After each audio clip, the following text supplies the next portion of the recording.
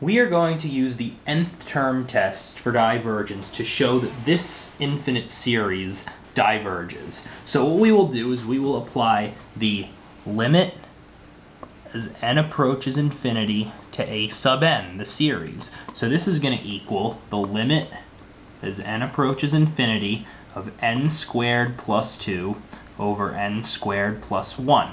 Now when we plug in infinity into this, you see we get infinity over infinity, which means that L'Hopital's rule applies.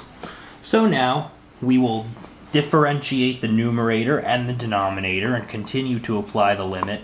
So this will turn into the limit as n approaches infinity of 2n over 2n using the power rule to differentiate each of these.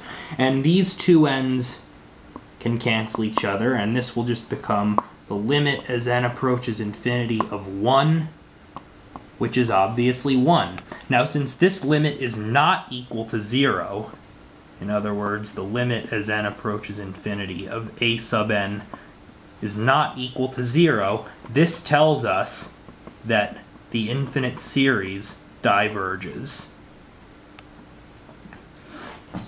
And so that is how we would use the nth term test for divergence to show that this infinite series diverges.